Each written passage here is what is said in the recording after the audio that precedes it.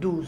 awa tozo soigne hémorroïde interne tout comme externe tozo soigne infection urinaire tozo soigne prostate tozo soigne tension euh, diabète goutte rhumatisme nerf sciatique glaucome yo moto oza na problème ya kobota mwana mobali balobi na yo kuna na hôpital oza azospermie oza oligospermie oza steno azospermie mm. ezalaka mwa ebele oke okay, okobota te mm. yaka na maison shekati papa na ngai yo moto ozolanda ngai o mwasi na ngai règle ekima mwasi na ngai akoma na règle douloureuse mwasi na ngai règle ekoma ya deux semaines mwasi na ngai règle ekoma ya un deux jours yaka na maison shekati tozosoigne kobota ya basi hormone tozozongisa ovaire tozozongisa batrompe tozodebouche matrice tozochauffe règle tozofungola ere yango quand même wana mm. couple moko esali 7 ans babotaka te mm. en entre temps bakei kozwa bakisi parci par là na bamédecine moderne mm. bazwi solution te ils étaient même prêts de se séparer mpo na makambo ya kobota donc stérilité oui 7 ans de, de vie commune 7 ans de vie commune mais baobota te ezala na kote ya mwasi balingi mwasi te na kote ya mobali mpe balingi mobali te bakoma epre vraiment bakabwana c'est alors que cousin ya mobali azalaka na londres nde atindeli ye numero na nga mm. alobi benga mama oyo obandi e mbongo nango namona ntango osisa wana benga mama wana mama wana mpe nzambe asungaka ye bakisi esalama mm. nde aye kobenga nga azwa mpe traitement nayebi kutu lisusu ata elongi na ye mm. aye kotinda voice na miniti oyo mwasi na ye aza na zemi ya si mois mobali azalaki na problème ya sperme mwasi azalaki na problème ya bahormone epuis batrompe na ye ezalaki boucher donc bakotala biso eh. par exemple awa ngo simba nini ongo lakisa nini awa ndenge nalakisa pirito pirito oyo ezalaka antibiotique Mm. antibiotique oyo toza na pirito a na pirito b mm. pirito a eza kaka bainfection moko légère oyo esali mwa une deux semaine mwa un mois eleka nango pirito b ezali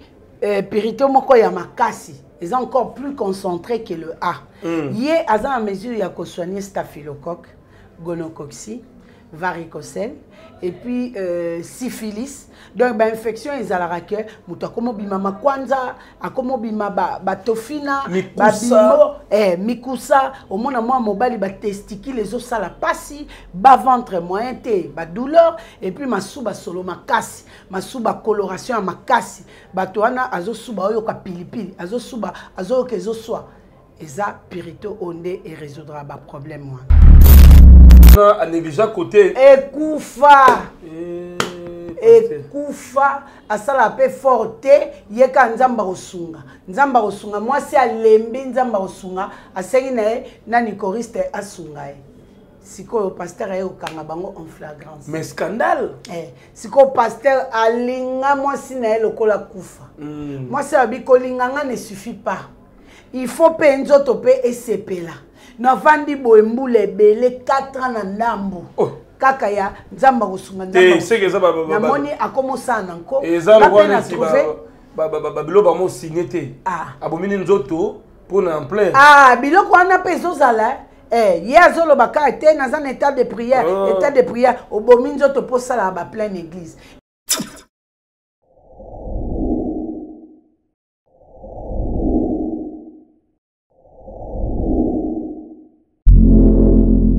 voilà mbote na bino nyonso bandeko batali équilibre télévision merci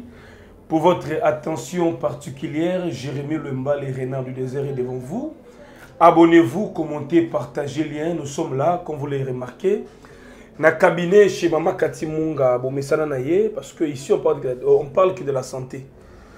La santé avant tout à travers ces produits naturels, ces produits bio la naturothérapeute va encore nous expliquer davantage évolution Musala Moussala ye bakaya batémoignage aussi na bainnovation oyo apporte par rapport ya biloko asala biso bakongole mama kati munga bonjour bonjour papa jérémi lemba voilà merci encore une fois très en forme hein? ngolu ya nzambe kaka nde ezobatela biso ça c'est très bien monde entier bamoni oyo lisusu lelo na équilibre tv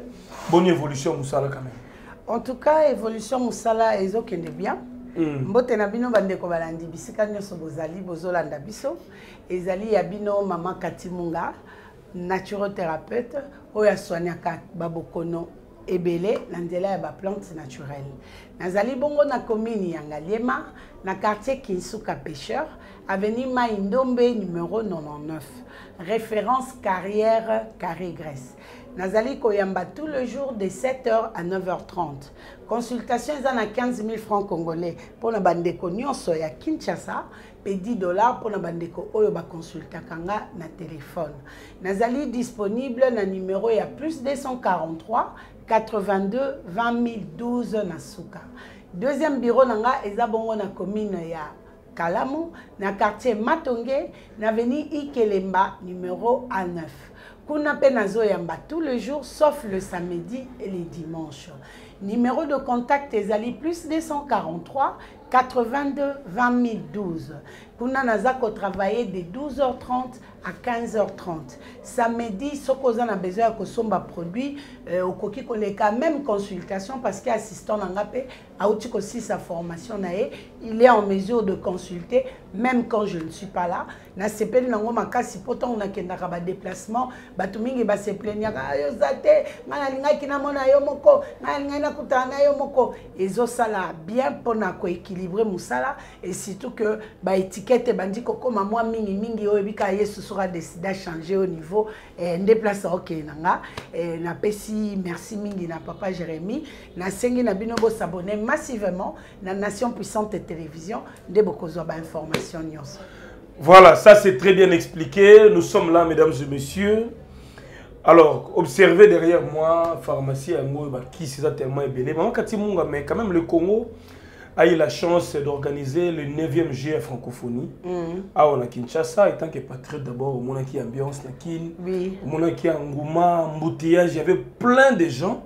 et puis otali ndenge mokonzi ya mboka se donne corps et âme mhm. abongiseli biso 20 mai stade de martyr basite presque tout ezalaki bien préparé oui. et puis to remporte plus de 34 médailles mm. une première mpo na histoire ya congo oui. mais bato mingi bon moi je pensais que okoteka mpe talibanda ya francophonie oteki te mpo na nini bon nateki te omoni déjà merci na chef de l'état mpo na mm. makambo ya francophonie oyo mm. en tout cas euh, eza eloko oyo ebundisamaki oui mais par la grâce de dieu tokomi yango na suka mm. en tout cas euh, nanu natinda message moko te na chef de l'état banda akoma président ah, okay. oyo c'est mon tout premier message si. en tout cas merci parce que tu as fait rêver le congolais eloko oyo tomona te bacérémonie oyo tomonaka bafeu d'artifice oyo tomonaka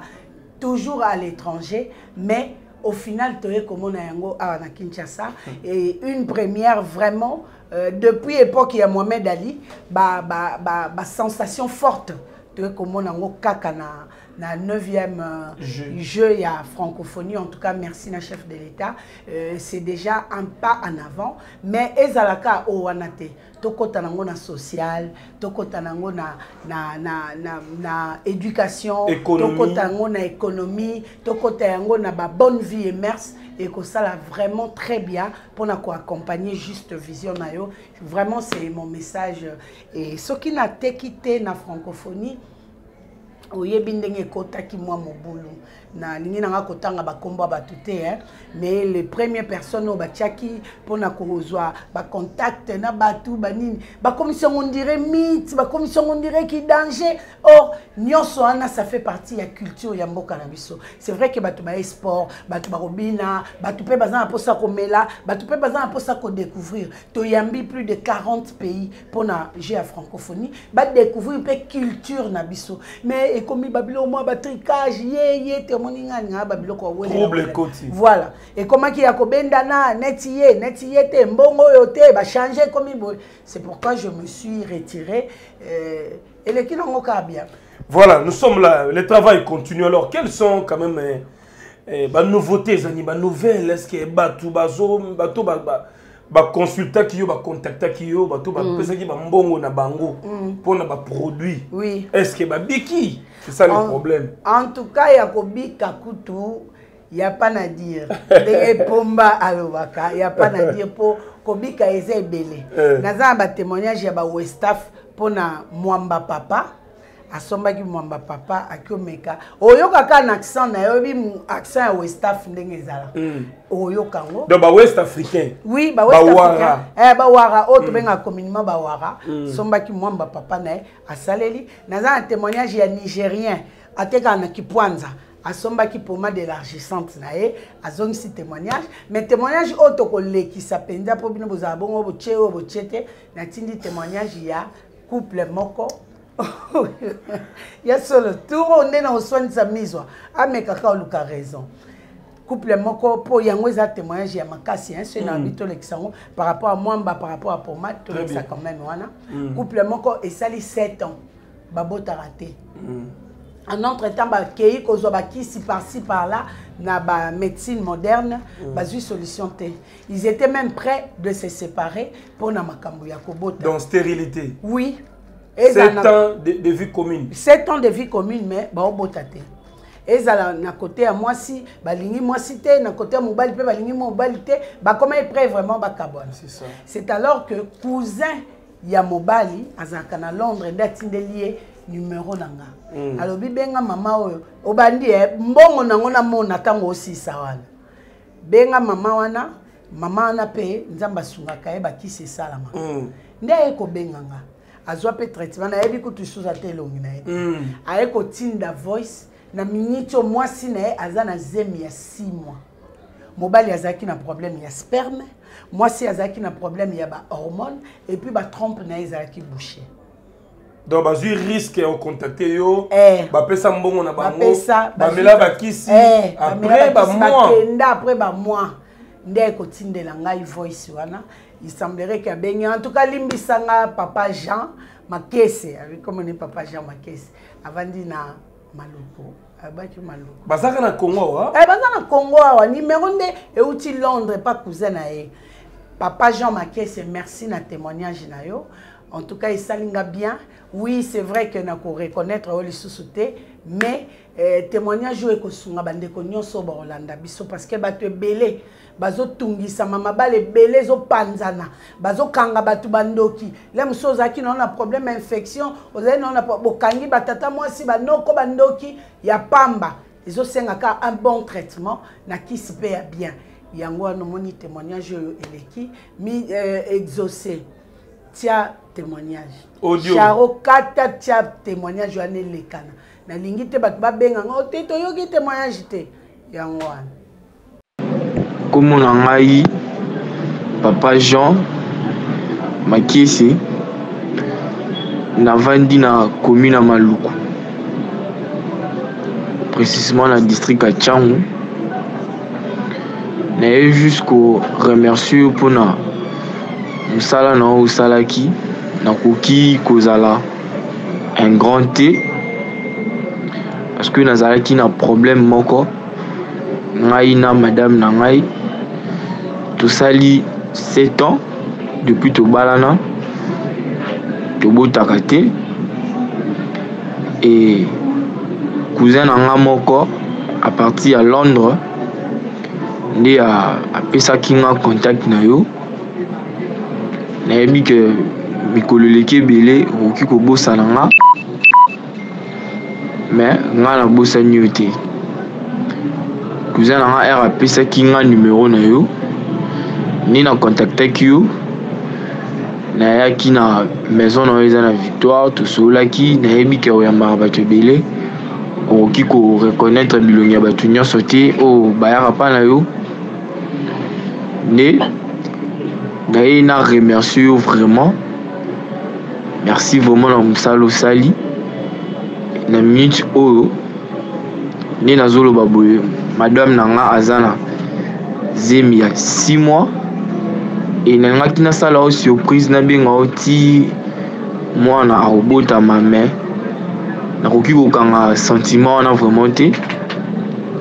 nde nabi nabenga yo nazobenga yo nazojoindre yo te nde na bi na tikela yo message oyo peut etre heure oko se connecte oyoka message na ngai en tout cas merci vraiment pona mosala osali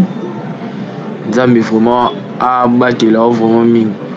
e na bato oyo tu oyo badutaka vraiment na mosala oyo badute te boya vraiment parce que nameli bakisi ya mindele trop nake na bopital balinga ba mbongo par ci par là mais heure na ye pa maman kati nde lelo nde naoloba boye nazwi solution madame na nga aza na zemi six mois je pense que kala te awa ah, akobota madame na nga famille efingi ye bato bafingi biso depuis tobalana tobotaka te etout mais elingaki tokabwana tolingaki vraiment tokabwana mais quand même Dieu a fait grâce na baki na cure oyo tolandaki pa maman Kati nde abikisi biso ye nzambe mpe apesi biso mwana à travers mpe mosala na ye donc merci vraiment maman Kati mosala malamu continue vraiment bongo nzambe vraiment azala na yo merci Voilà, merci beaucoup euh, pour un extrait ya témoignage wana. Donc euh, côté Robota, donc bato bazo pesa confiance na bokoko, bazo simba bana. Oui, bazo simba bana parce que euh, normalement biso to pesa bana te. Na éviter hmm. pour les autres hein, mais ngai na ebi ko pesa bana te. moto apesaka bana se jésus christ de nazareth mais biloko esalaka ke bato babota te akoki ozala peut-être sperme ebebaki ayebi ndenge ya kosala te aza na problème ya matrice problème ya trompe problème ya bahormone nde esalaka ke bato bazala na badifficulté kotraite baorgane kotraite babiloko wana ekoma bien epuis ntango bakozongisa ah, cours d'intimité na bango normal omona ke makambo ekomotambola nango hmm. normal sans prière sans prière mpe hmm. eh. mosusu mpe esenga yango prière te landela kaka mais omoni kaka biso bana nzambe eloko nyonso tolinga to associe jésus christ eh, mais bango wana mwasi akomi na zemi ya sima do ekala mingi te bebe alors ça c'est bien alors en dépit de ça euh, oza na bakisi ebila wa ntanga bakombo na yango na bautilité na yango eh, parce que eza na bafamille ebele hmm. oyo bakotala biso eh. par exemple awa ngo simba nini ongo lakisa nini awa ndenge nalakisa pirito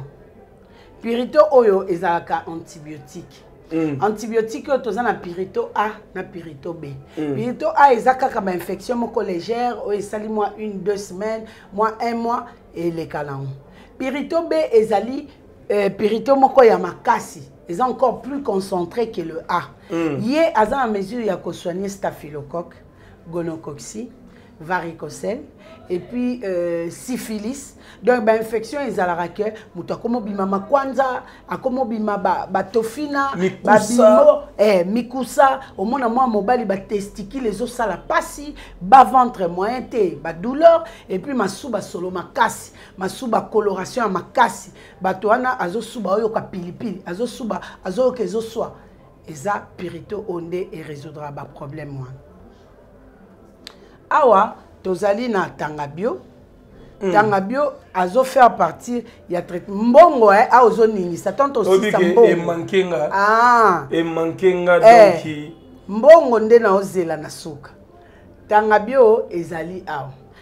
tangabio azo faire partir na traitement ya hémorroïde tangabio oyo bamelaka yango 10 bouteille 10 bouteille wana osala cure ya 5 jours soki osisi na tangabio oye kotongola fd purge fd purge oyo batongolaka yango a tiede okotongola yango pendant 2 jours soki osisi na fd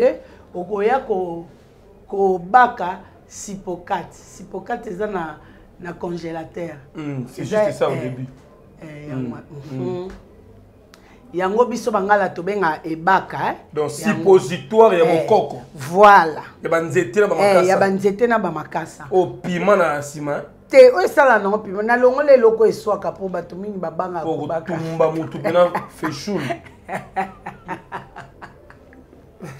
eza yango simple eh? Eh, eza yango simple mais aosala mosala na ye eh, bato bazala azosumba makila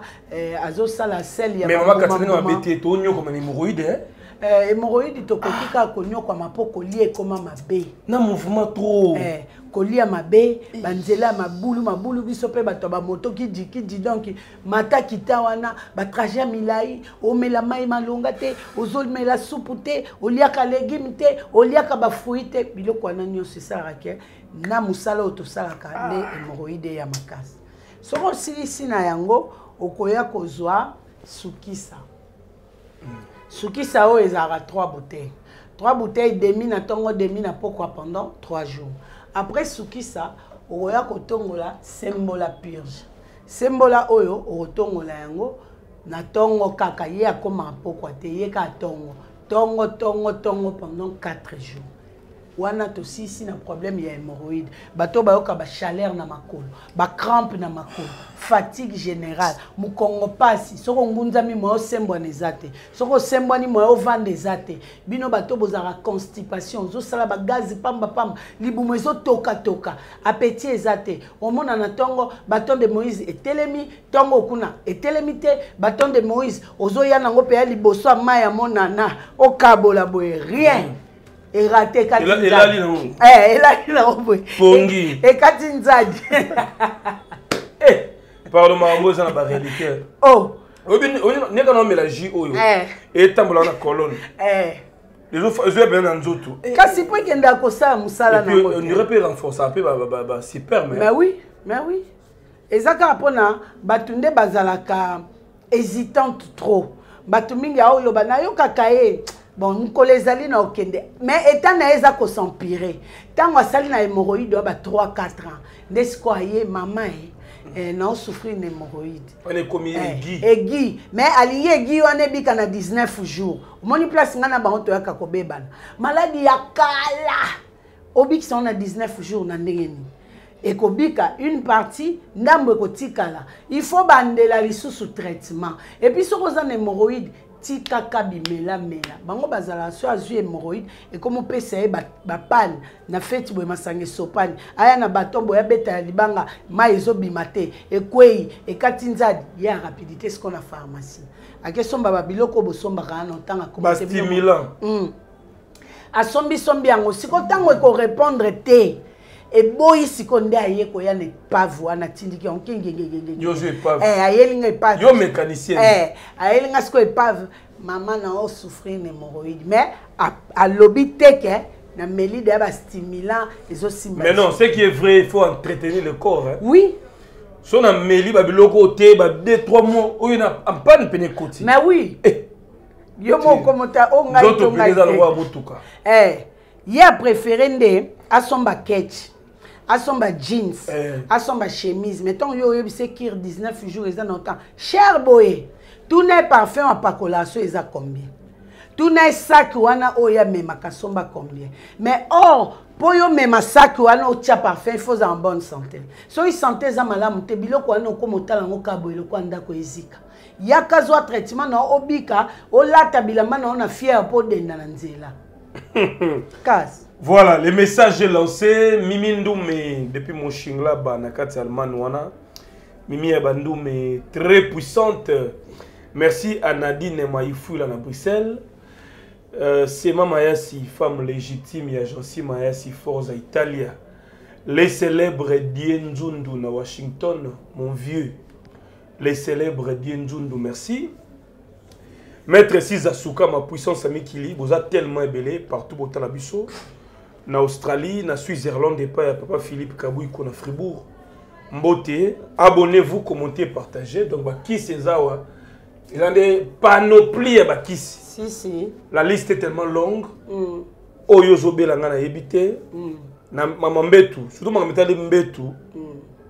nde vraiment awa nde pena solution bon po mama etali sexualité lelo yango nde eza na mode ya osakana te bato balingi mibali mibali eh. balingi basi eh. bato balingi nzoto makasi bato balingi kobota eh. balingi plaisir ya osakana te donc tout ça il faut ozala mpe guide eh, il faut ozala mpe guide puis ozala en bonne santé oui. ntango neti pasteur oyo akangi choriste na mwasi na ye na chambre donc ma pasteur oh. atricharne na choriste na choriste mbote bandeko eza lisusu ngai mama mika la cosmétologue réparatrice ya loposo toye lisusu na baproduit na biso sans hydroquinone fait ya base ya bafruit c'est naturel a ah, toza na te métise na biso mpo na basi ya pembe mibali ya pembe yo motu pembe na yo ebeba egata kima mbangu osalela te métise na biso solution yango oyo eye ata wana mafuta mpo na bata mwindu bata shokola oza mwindu shokola kima lombango mafuta na bino yango oyo fa baza bafruit tozali na crème réparatrice mpo na bato nyonso bana problème ya tampon cancer de peau nduta oyo oh, bandeko boya mbango tozali na huile d'anana huile d'anana ezosunga makasi fe ya base ya nana bandeko na ngai bokosepela makasi tozali na gommage café na euh, lotion tonique mpo na bato ya babouton bato ya bagrèce soin de visage bokima mbangu ekosala biso bien su du nouveau ya kinshasa pomade antisola mapeka yo moto obotama na sola mapeka alors kima mbangu dans deux jours apamba sola mapeka ezosila savon na biso yango mpo na douche ekosala yo kitoko ezolongola basalite nyonso to mikusa na nzoto antuka okosepela balobi mama mika cosmétique aye lisusu ayeli biso beauté d'une femme beauté d'un garçon tozali na machine ya perrique confection perrique na 4 dollars ya pamba oh, alors petage oyo ya suka na petage solution yango eye baproduit na biso eza naturel numéro na biso plus 243 89 98 27 674 toza na komi na kalamu quartier matonge avenue pozo numéro a17 référence cabina courant bye, bye. bino mbote na nkombo na yesu c'est bien moi votre frère le pasteur israël Nash, je vous salue au nom de Jésus. Je suis précisément à Kinshasa. Naza responsable ya Ophelina. Jésus est mon papa. Naye liboso na bino mpo na kopresente bino bana oyo bozomona na bilili mpe badifficulté toza nango nabandaki mosala oyo ça fait longtemps ya kobokola bana selon ainsi du l'éternel mais badifficulté eza mingi difficulté ya loyer parce que tozofutela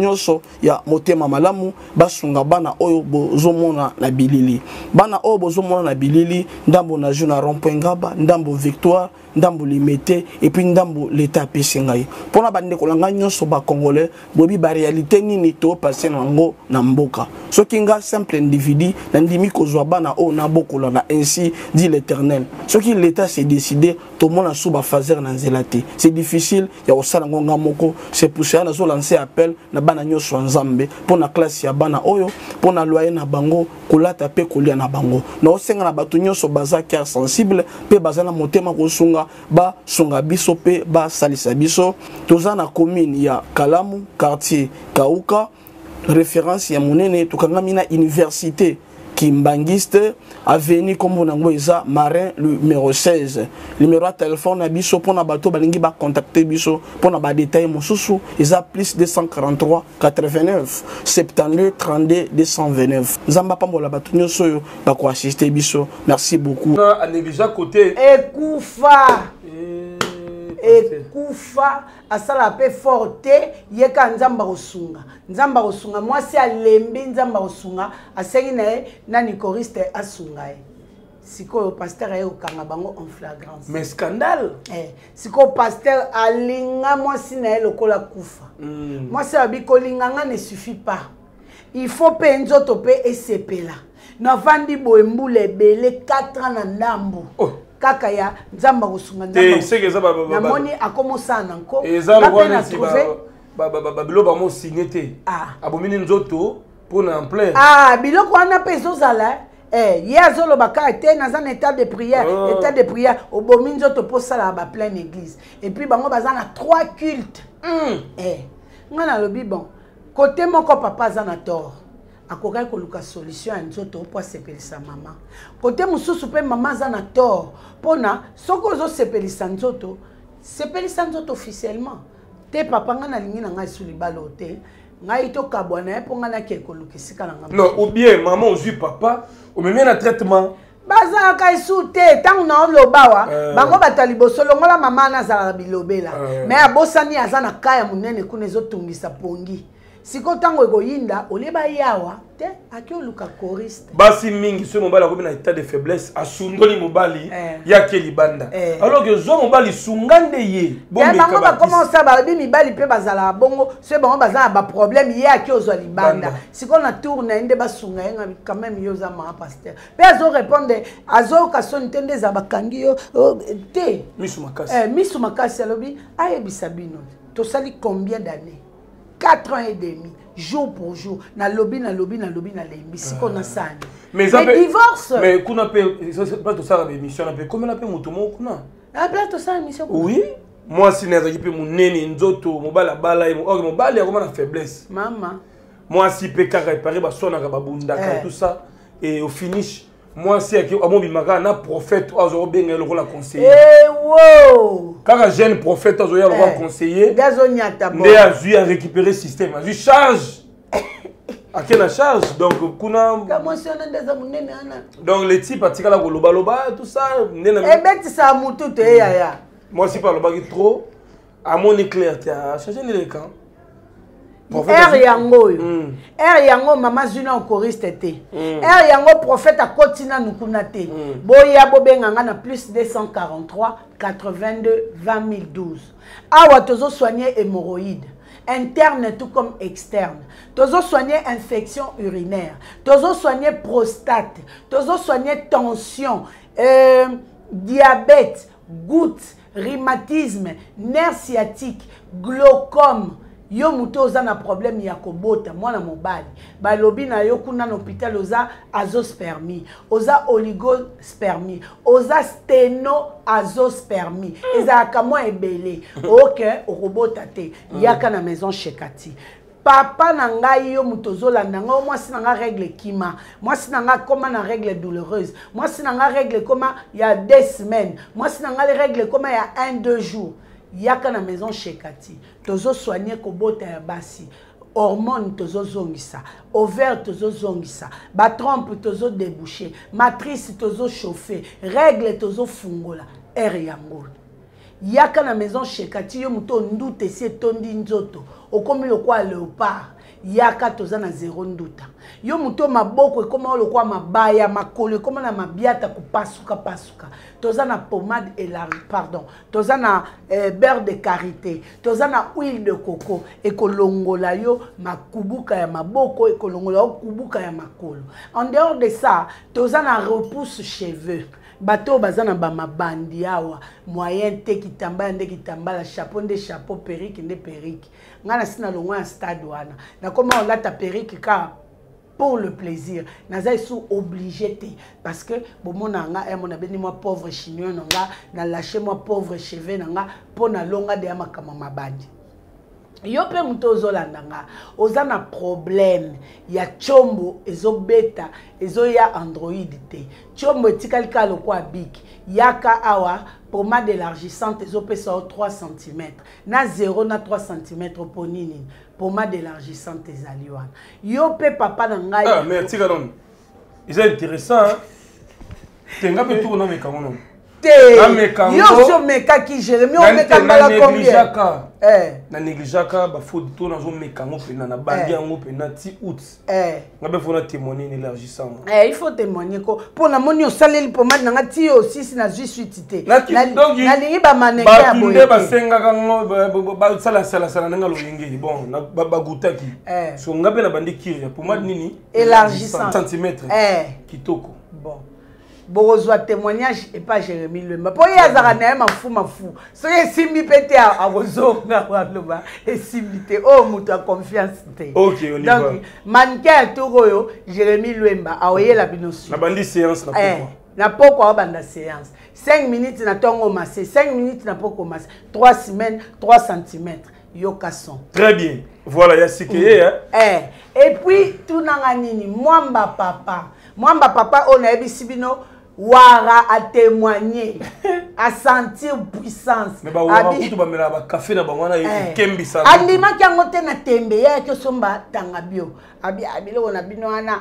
nandima yango te ayaki naye kosomba nde tanga bio mwamba yango eza bio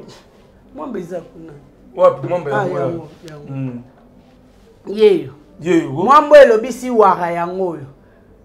ndeko na biso sénégalais bopikiliki eh, abi mare oza ndoki ozala wapi ngai aza na ndoki me ya bonzambe sikoyo osanti abi kala ani ozala wapi eloko oyo navandi kimia te wumela merci papa na ngai ntango nayebisa bino consommant locaux consommant congolais consommant africain yango nde kotombola bendele ya mboka se nakende koteka na francophonie bamauritaniens wana bamarocain wana balingi basombela nga bamwamba me biso na biso kaka tozosala batricage ye te ye nde fo azala ye nde fo azongisa estce omoni na francophonie biloko ya bokoko ezalaki or na ngai nateka culture ya mboka bosali nga kaka baboye baboye baboye 10 jours ya pamba bapaya mpe bango wana bakei totikali siko ozwi nini mabe voilà ça c'est très bien ça c'est très bien consommons congolais et puis miel pur ezali hein? ah, miel peye hein? miel yeyo ah. yo moko mwana nde eza kiloati munga eh. makambo ezobakisama kaka eh, en tout cas awa yesu na yesu ah, mais ça pèse hein? mm. mpo eza ya solo te so eza ya mm. lokuta engai eza lokola mai ya pompe bato balingaka mialamela na mwa te eh, eh, mpona eh. kocombatre babilo mosusu oui bato bazala na bakosukosu interminable barime interminable bato bazala na bavision flou miel batiaka mpe ntina miso mm. kati munga danger deux fois te mm. en tout cas je crois que nayebisi bino biloko nyonso na sa nabosani te poison eh, bato bapoison mpe babenga eh? mm, bato ya bapoison mpe bobenga nani nazwi antidote te mm. mais naza na traitement ya poison très bien numéro ya mama kati munga eza affiche oba de vos écrans comme toujours okomi message bato babengaka nga mpe mingi natindelaka bango eh. babengaka oui babengaka donc toza ensemble oyo mpe azwi directement abengi mm. eza nango whatsapp soki olingi normal obengi ekufeli te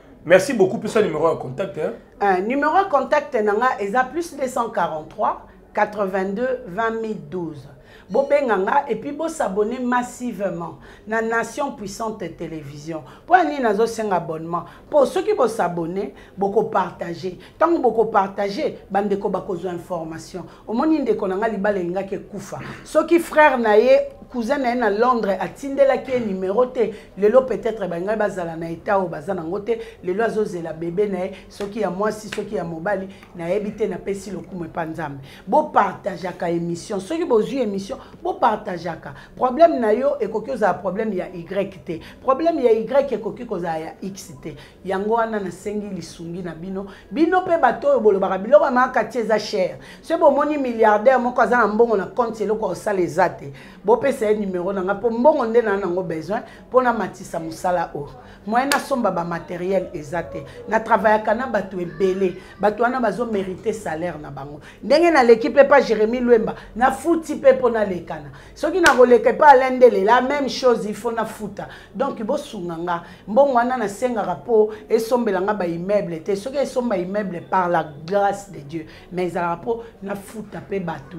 nafuta mpe loyer nasomba mpe bakisi donc euh, boencourage nga olie bodécourage ngai numéro de contact plus 243 82 20 012 na suka